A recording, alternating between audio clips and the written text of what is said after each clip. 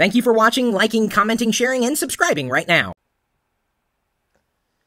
It uh, wasn't too long ago when we shared the link of our top 10 Google Chrome apps. We also recorded a corresponding video, and now we followed that up with our top 10 choices for Google Chrome extensions. There's a difference.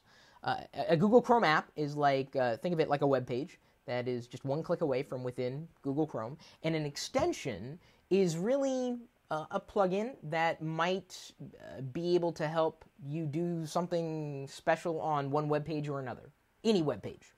So there are uh, fundamental differences between a Google Chrome app and a Google Chrome extension. You are more than welcome to share your top choices here or in the article that we wrote, the corresponding article to this video, like we do for just about every one of the videos uh, that we record here.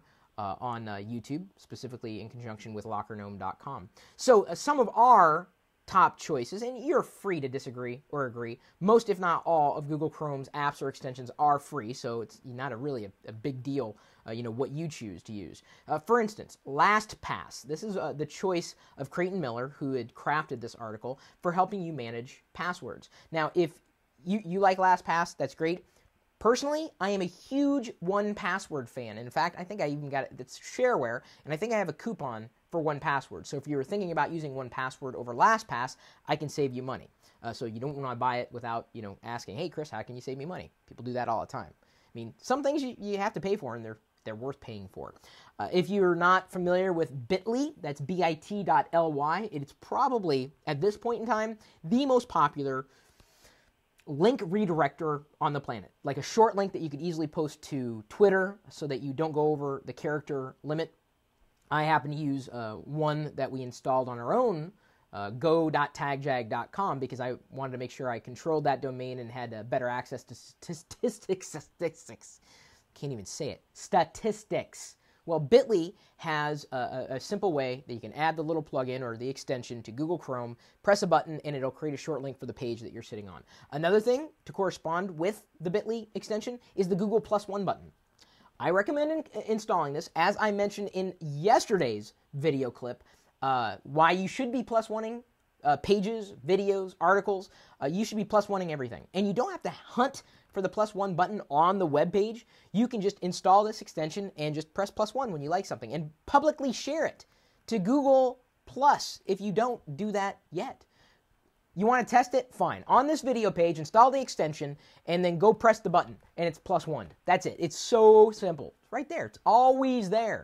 Doesn't take anything to do, really. And that will help Google deliver you more relevant search results over time when it starts to build up a profile about the things that you tend to plus one. And hopefully you think the articles that we produce for you on lockergnome.com as well as the videos we do for you on, on uh, YouTube are worth sharing. Absolutely.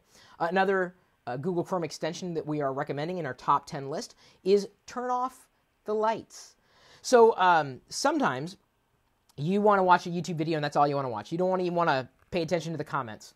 Uh, well, with this extension, you can pretty much eliminate everything on a page except for the video, turning off all the lights except for what should be illuminated, the video. Uh, this is an extension. You can install it right now. It's really kind of, it's kind of easy. Uh, then, of course, there's Google Voice. If you're not already using that, it is free to use, at least here in the United States, uh, to communicate with people. Uh, I use Google Voice all the time when I'm in the air, and if I need to text message with people on the ground, I can do that for free. I never really use Google Voice for calling anybody, which I realize you can do, uh, but it's it's not as as big of a deal. Uh, another one we recommend, and this is something that you're probably interested in because we all like gifts, including myself. Add to Amazon wish list. This is how I know uh, Diana built up her wish list because she'd be on a website, and even if the item is not listed on Amazon, you can still add it to your Amazon wish list. It's it's kind of a universal wish list repository. My wish list, go.tagjag.com slash wish list. You cannot put items on my wish list, but of course you can. You can give me an item or two. That that'd kind of be nice. Some of you have done that before. There's so many others we have to recommend on this particular article, and, and I'm sure uh, your responses are, are, going to be plentiful uh, as well. Uh, let's see here. Uh, fastest Chrome. This was for the win much. That was a suggestion from the live video feed. Uh, plus one, every single article on Locker Gnome says Identicali. Thank you so much. Text Plus is an awesome texting app for free. This was noted here by uh, Jarrett Nintendo Nerd.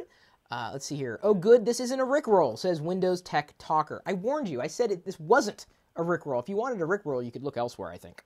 Uh, see here, I'm looking for any other recommendations that people might have, those who are watching the live video feed at least, and, and hopefully there are plenty uh, watching. And if not, you can tune in, you know, for the next uh, live video feed that we do, TLDR, every day, 3 p.m. Someone needs to make an extension for Google Chrome that lets you know, hey, here's the upcoming list of live TLDR episodes. Here's the next one. They can build in the thing a little countdown timer for the next live episode as it's scheduled. That'd be kind of neat. So you can be in your browser and see, oh, and, it, and then it turns red. I'm like, you know, it's 10 minutes and, and, and it's TLDR live. And then you can press the button and it pops open in a new tab and then you can see the episode. That'd be a neat extension, don't you think? Yeah. And then maybe you could put the RSS feed for Locker Gnome in there as well. So it's kind of a, you know, a way to tune into the live stuff.